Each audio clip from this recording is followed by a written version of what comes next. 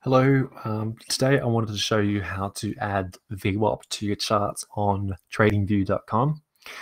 Um, first of all, um, a lot of you guys prefer to have VWAP with uh, standard deviation above and below, so three VWAP lines.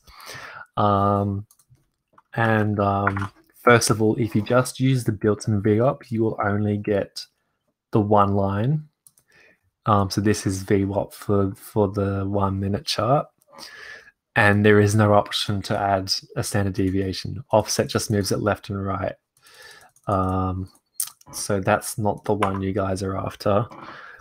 Um, in the public library, or if you search VWAP, there are these other ones that are being created by uh, users. And um, so um, let's go this one because it's got the most likes. Uh, they're all they're all pretty much the same, um, but what you get is more than one.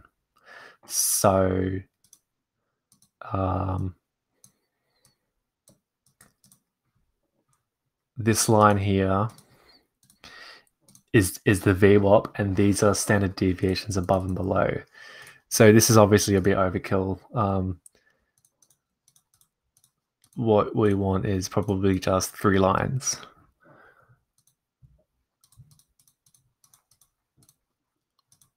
Uh, is that it? Middle fill. We don't have to have the fill. Line, line.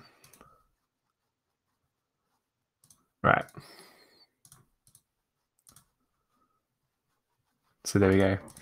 Um, so that's what a lot of you guys are, are after with three lines, and this um, this is one standard standard deviation above and one standard deviation standard deviation below, and basically it helps um, helps show uh, where the bottom and tops are throughout the day. As you can see, this actually quite works quite li- quite nicely, um, not only for this day, which was yesterday, but um, pretty much every day when it hits this top VWAP, it, it goes back down to the middle or um, occasionally pulls through to the bottom VWAP and then bounces back up. Not 100% of the time, but um, it's a fairly good indication of um, uh, not only um, where what direction is for the day, but um, where the highs and lows for the day will will generally appear. Um, so yeah, it's a pretty good indicator for for day trading on some of the bigger time frames. It's not so useful. Um, and in fact, I, I just like to, to turn it off by pressing uh, the show hide button. It just gets rid of it. All right, hopefully that explains how to get VWAP and um, on tradingview.com. All right.